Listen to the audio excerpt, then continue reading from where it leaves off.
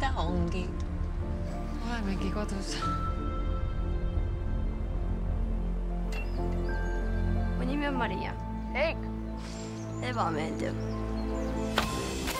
miks sa temaga mängisid? ma ei mänginud temaga, ta ei meeldi mulle lihtsalt. sa ei saa mulle midagi teha. mul on kivis süda. mis asja? kas sa lähed sellega Aafrikasse? ja sina ka!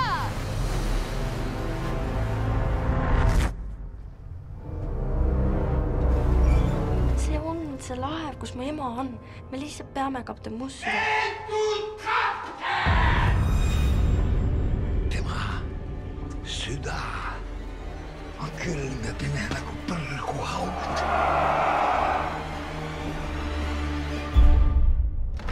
see on kahevahel maailm. maailm elavate ja surnute maailma vahel. ainus asi, mida me teame, on see, et me tahame siit ära.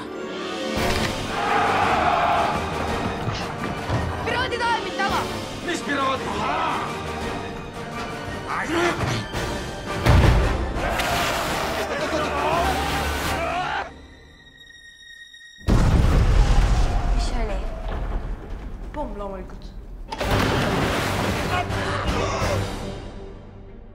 mulle meeldivad küll filmid, mis on naljakad